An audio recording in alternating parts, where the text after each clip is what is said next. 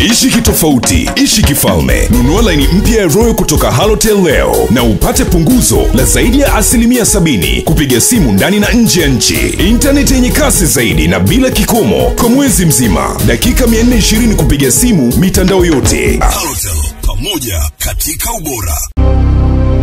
Ukifuatilia utaona kwamba hii serikali ya awamu ya tano imeweka msisitizo sana katika uanzishaji wa viwanda na ukuaji wa uchumi wa nchi zote unategemeana na mabadiliko katika sekta mbalimbali ambazo nchi inajihusisha, mabadiliko kwenye kilimo, mabadiliko kwenye viwanda na sekta zingine.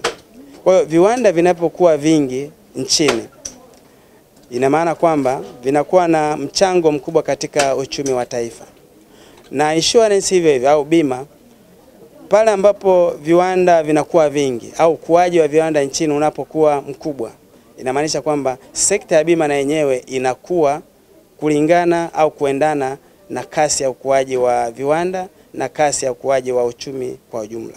Tunapokuwa na uh, uanzishwaji wa kilimo cha kisasa tunapokuwa na new technology. Kwa hiyo tunakuwa na bidhaa mpya za bima ambazo zitahitajika kulinda majanga ambayo yanaathiri hizo shughuli. Kwa hiyo ni jukumu langu au ni jukumu la mamlaka kuhakikisha kwamba inasimamia kwa ukaribu na inahamasisha kwa ukaribu wadau wa bima, makampuni ya bima kuanzisha bidhaa ambazo zinaendana na ukuaji wa viwanda, zinaendana na ukuaji na mabadiliko ya kilimo. Kwa hiyo vinapokuja viwanda vipya, ni changamoto au ni fursa kwa makampuni ya bima kuweza kutengeneza bima ambayo inaweza ikakava hivyo viwanda vipya. Sasa ni fursa ambayo makampuni ya bima yanatakiwa yachangamkie. Hivi viwanda vinaambatana na shughuli nyingi. Kwa mfano, viwanda vinahitaji umeme kwa asilimia kubwa, na utaona hivi karibuni kuna mradi ambao umezinduliwa kule Rufiji kwa ajili ya kuzalisha umeme ambao utatumika viwandani. Ule mradi ni fursa kwa sekta ya bima, na utaona kwamba NIC mheshimiwa alielekeza kwamba NIC ichukue hiyo, itoe bima kwa miradi kama hiyo, sio tu huo, na miradi mingine mingi ya serikali. Sasa inapochukua hiyo miradi ina maana kwamba tayari zile premium zinazopatikana kutokana na huo mradi zinasaidia kuongeza sekta ya bima ikawa imekuwa. Sasa changamoto inayokuja ni kwamba hii miradi ina majanga makubwa.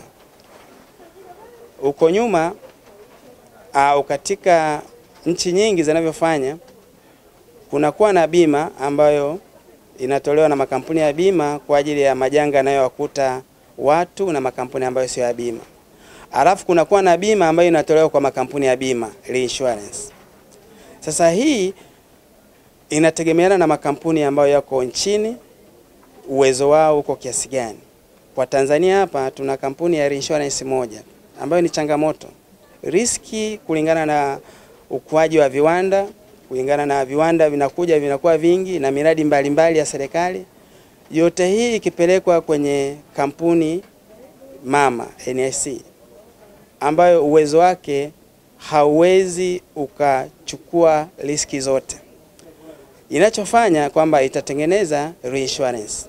Sasa reinsurance inayotengenezwa kama kungekuwa na makampuni mawili au matatu ya Tanzania ina maana kwamba zile premium zote ambazo zinatokana na zile shughuli zinatokana na ile miradi zingekuwa zinabaki hapa kwetu na zingekuwa zinaendeleza sekta ya bima, lakini utakuta makampuni ya reinsurance mengi ni yako nje. Kwa hiyo hii ni changamoto, unakuta premium vile vile zinaenda nje, na wakati mwingine unakuta kwamba kinachobakia hapa ni kidogo kuliko kile kinachoenda. Sasa kuna baadhi ya miradi ambayo serikali kama serikali imeona umuhimu wa sekta ya bima moja, au vile vile imeona namna ambavyo premium nyingi zinazo zinazotolewa na policy holders zinaenda nje. Kwa kigezo kwamba capital au makampuni ya ndani uwezo ni mdogo. Sasa serikali imeingilia kati kwa baadhi ya miradi kwa kuwa garanta kwamba ina guarantee. Kwa na yenyewe ina participate katika ile yani kutoa garanti kwamba kama loss itatokea wenda zaidi ya kiasi fulani ambacho kampuni inaweza ikalipa, basi serikali ina garanti kwamba itakuwa responsible kwa kile ambacho kinana. Lengo ni kujengea uwezo haya makampuni yaweze kuretain riski. Huu mkutano wa SADC na wenyewe una, unaleta fursa kwa Tanzania. Huu mkutano unafanya Tanzania inakuwa na uwezo wa kupata investors kutoka katika hizi nchi wanachama. Sasa investors wanapokuja kuinvest Tanzania, hiyo ni fursa kwamba inachangia uchumi wa nchi na vile vile katika sekta ya bima, kwenye hiyo investment bima inakuwepo. Sasa serikali kwa kuona umuhimu wa hii sekta, ni vema sasa ikajaribu kuangalia pale ambapo inakuwa na investors katika projekti mbalimbali kubwa kubwa kwenye viwanda na nini, wafadhili wanakuja kuwekeza pale, basi kipengele cha bima kile ihakikishe kwamba kampuni zinazotoa bima katika huo mradi ziwe za Tanzania na asilimia kubwa iwe inabaki humu mu Tanzania, kusiwa na masharti ambayo yanakuwa kwamba insurance, insurance inatakiwa itolewe nje, ambayo miradi mingi ina hiyo aspect.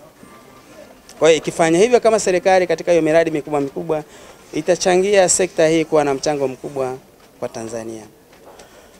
Alafu kingine ambacho kama kikifanyika, na of course inabidi tukifanyie majadiliano au mdahalo, ni swala la ownership katika makampuni.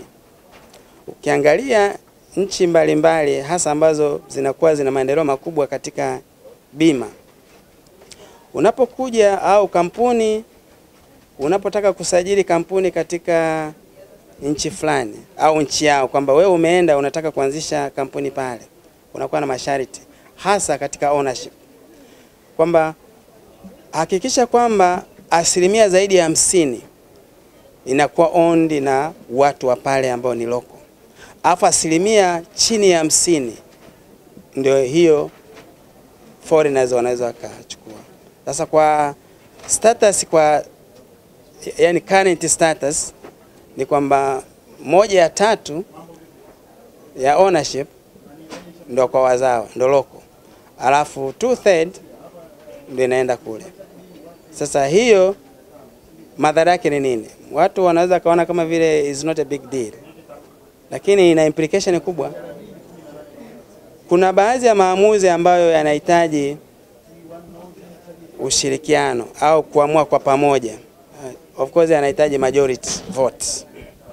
Sasa hiyo majority vote ndio unaona kwamba inapokuja kwenye swala la ownership, ndio hapo unaona umuhimu wa hii one third, kwa sababu wale ambao wana ownership kubwa obviously ndio watakao kuwa na maamuzi makubwa.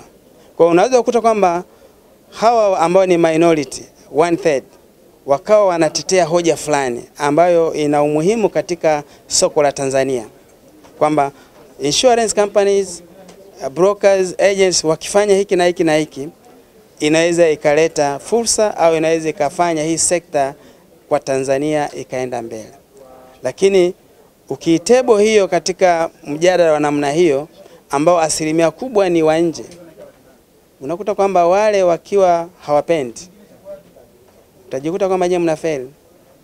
Sasa matokeo yake unakuta kwamba hata baadhi ya vifungu kwenye sheria ya bima na nini, unaweza ukakuta ukawa unapenda sana iwe hivi, lakini shida inakuja kwamba uwezo ukaamua wewe as an individual, uwezo ukasema nabadilisha hapa iwe hivi, haiwezekani.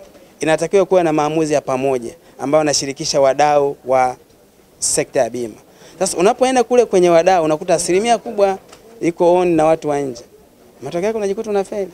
Kwa hiyo baadhi ya vifungu unakuta vinakuwa vigumu sana kuvibadilisha kwa sababu vinahitaji maamuzi ya pamoja. Sasa tufanyeje ili tuweze kuwa na vitu ambavyo tunaona kwamba ni vizuri katika sekta yetu? Moja hapo ni kuweza kubadilisha ile ownership, kwamba badala ya one third basi iongezeke angalau kuwe na asilimia zaidi ya hamsini, angalau basi hata hamsini na moja iwe local na ile 49 iwe foreign. Kwa kufanya hivyo, hata inapokuja katika maamuzi, loko ni wengi, kwa hiyo maamuzi yao au wanavyofikiria kwamba wakifanya hivi itasaidia sekta ya, ya bima kusonga mbele, hatimaye baada ya muda unakuta sekta inaendelea. subscribe